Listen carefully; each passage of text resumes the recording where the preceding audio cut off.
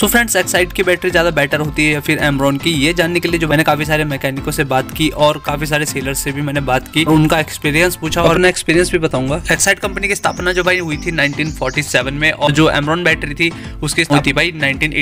में इससे कोई फर्क नहीं पड़ता है लेकिन मैं आपको बता दूँ जितने भी मैकेनिक और सेलर थे उन्होंने कहा कि भाई एक्साइड की बैटरी जो है ज़्यादा बेटर है लेकिन दोनों का बहुत ही ज़्यादा कॉम्पिटिशन है भाई मार्केट में उन्होंने मुझे बताया भाई कि दोनों ही बैटरी जो है काफी ज़्यादा सेल होती है प्राइस रेंज में थोड़ा सा फर्क है एमरॉन की बैटरी जो है सौ डेढ़ सौ रुपये कम की पड़ती है जो एक्साइट की वो थोड़ा सौ डेढ़ सौ ज्यादा पड़ती है तो वैसे अगर मैं अपना ओपिनियन बताऊँ तो भाई मुझे जो भाई एक्साइट की बैटरी ज्यादा बेटर लगती है मैं क्योंकि दोनों बैटरी को यूज कर चुका हूँ बाकी जो आप अपना एक्सपीरियंस जो भाई कमेंट बॉक्स में बता सकते हैं वीडियो को लाइक कीजिएगा चैनल को सब्सक्राइब कीजिएगा एंड थैंक्स फॉर वॉचिंग